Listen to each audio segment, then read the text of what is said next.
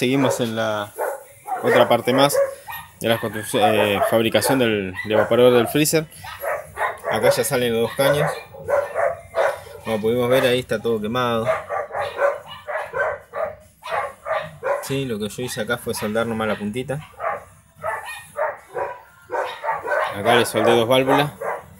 Una es la entrada del condensador, que va hacia el condensador, introduce adentro y sale del condensador al filtro y el filtro tenía la puntita, le soldé, es un filtro viejo, después hay que cambiárselo. Vamos a introducirle presión a ver si no se pinchó nada al momento de que pusimos algunos tornillos, en algunas ciertas partes.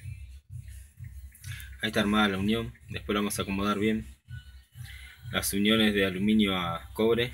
Vamos a probar a ver si no hay fugas, si no hay que rehacer las pestañas. Bueno, acá tenemos las partes.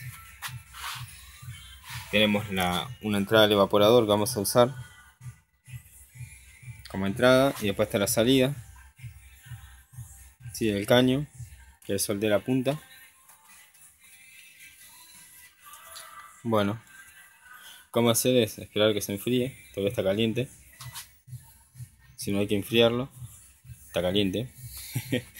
bueno, lo que sí vamos a introducirle presión al aluminio, pero no lo vamos a llevar mucho, sino a 80 libras, 70 libras. Es más o menos lo que va a tener cuando el refrigerador o el freezer esté apagado. Mientras esté funcionando, como va a estar con 134, va a tener una presión de 1 libra, 0 libras pero cuando pare se va a ir de presión a unos 80 de máximo. En realidad van a 60, 50. ¿sí? Cuando se estabiliza. Y después vamos a tener que colocarle el capilar. Bueno. Vamos a esperar un cachito que se enfríe. Vamos a pausar el video. Y después vamos a introducir el refrigerante o nitrógeno. Lo que haya. Bueno, seguimos. Ya se enfrió lo acomodamos al freezer, vamos a usar el manifold, uno de baja, uno de alta, para probar. Y vamos a usar R134A para introducirle presión. Sí, falta de nitrógeno, no hay problema en introducir 134. Es el mismo refrigerante que se va a utilizar.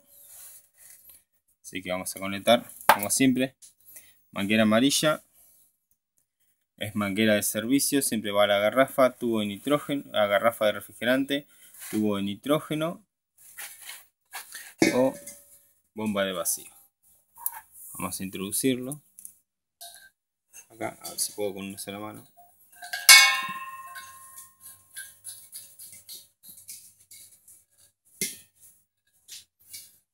Ahí está. Está un poco la mano mojada lo que estoy usando la esponjita. Bueno, vamos a mantener cerrado nuestros manifolds.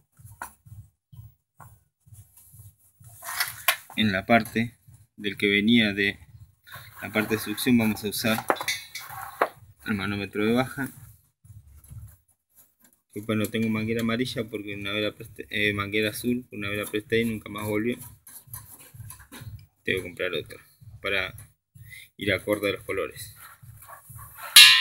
Ahora vamos a mandar la otra la que va al condensador la parte de alta más que nada el color de la manguera es para distinguirnos en los manómetros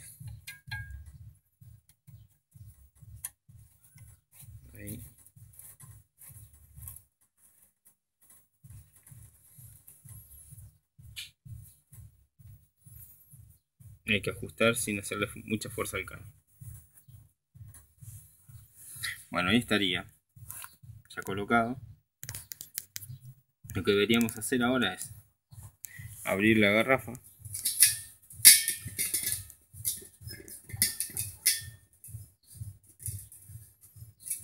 Como después lo tenemos que abrir y sacar no hace falta purgar la manguera.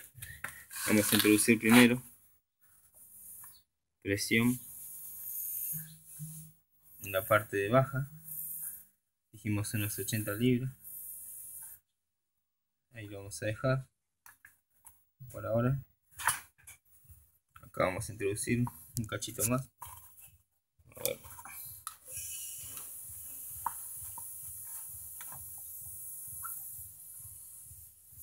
Está perdiendo acá la manguera vamos a cerrarlo voy a ajustar bien con las dos manos bueno como podemos ver tiene el orden roto. Esto se puede cambiar. ¿sí? ahí está. Bolsita, orden para manguera.